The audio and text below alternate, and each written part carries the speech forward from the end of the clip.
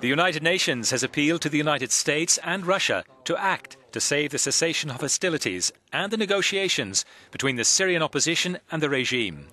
Staffan de Mistura, the UN envoy for Syria, is battling to keep the peace process alive.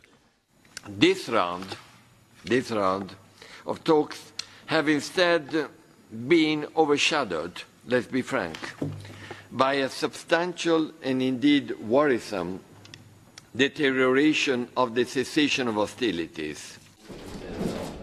It was on Wednesday that the UN peace envoy held the last meeting of this third round of party talks, which are aiming to ensure a political transition in Syria.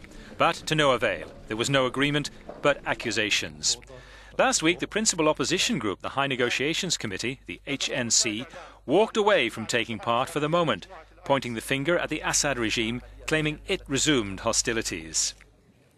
It was on February 11th that the United States and Russia met in Munich and started a new round of discussions on Syria, with the most urgent business on the agenda to establish terms for a ceasefire between the warring partners.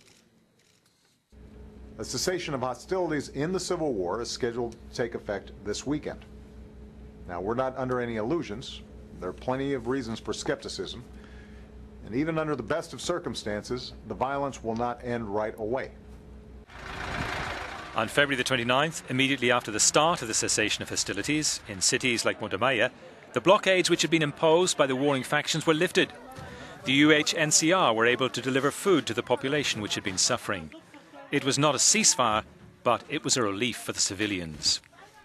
On March the 15th, the Kremlin announced the return of its bombers which had been deployed in Syria.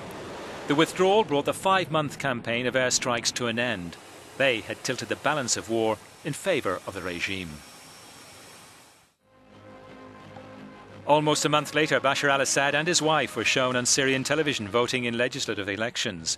Yet it is he and his political future that continue to overshadow the diplomatic efforts to put some renewed momentum behind the peace talks and agree a transition to end the five years of war.